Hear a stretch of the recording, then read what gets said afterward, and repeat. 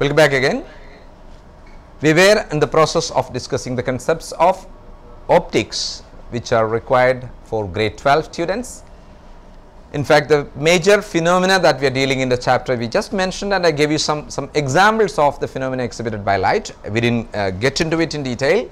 Of course, it is a big chapter. So, what I want to tell you is today before we wind up today's class, I will give you one question for you related to what we have done.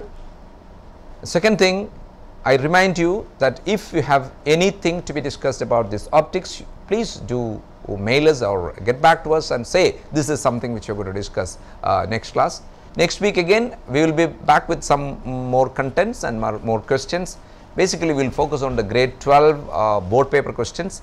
So, what I want to tell you is you observe the phenomena which are seen around you based on reflection, refraction, dispersion, total reflection, diffraction, interference and polarization. For polarization I was having a very beautiful video which I will show you in the next class only today the time does not permit for that.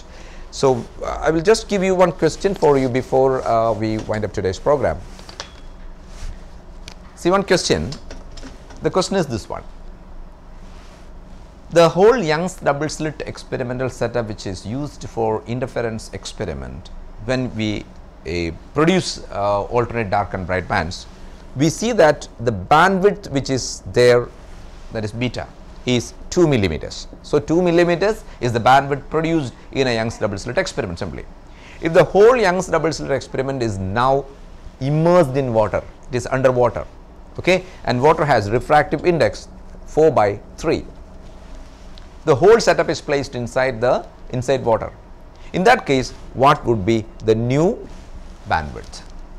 The bandwidth now is 2 millimeters and if it is the whole thing is if immersed in water then what will be the uh, sorry what will be the bandwidth. So, once again I am actually uh, I am giving this uh, question also to you you can work it out. So, once again let me tell you the question the fringe width or the bandwidth obtained in Young's double slit experimental setup is 2 millimeters when it is placed in air. Now, with the whole setup is kept immersed in water and water refractance of water is uh, shown here 4 by 3, then what will be the new fringe width, new bandwidth. Work it out, I had asked you one more question before, you can think on that as well. When 7 colors are passing through a prism, why only violet has got maximum deviation red has got very minimum deviation. How will you explain exactly what is the proper way of framing the answer?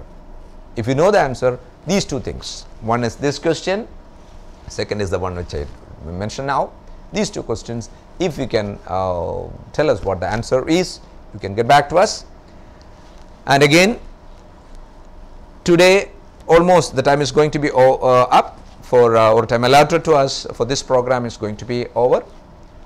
But before I finish off today's session, let me tell you something make use of the classes in such a way that you can benefit it for the board examination and you can uh, what I say relaxedly you can see at home, watch the program at home and uh, get back to us.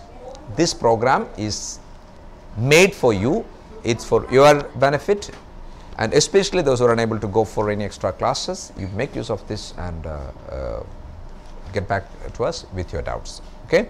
With this note and next week I will just uh, show you one uh, interesting video related to polarization plus we will be focusing on the board examination type of questions. These two are the areas which we will be discussing next and if anything straight concepts to be discussed like derivations or something if you want me to discuss in the class you can definitely let us know. Okay. With this and again with uh, one more uh, once again uh, with congratulations to the people from the to subcontinent uh, from our sub subcontinent Pakistan and India. One is Malala Yousafzai and uh, the uh, Nikesh Satyarthi sorry Kailash Satyarthi. These two people let, let us congratulate them on winning the Nobel Prize.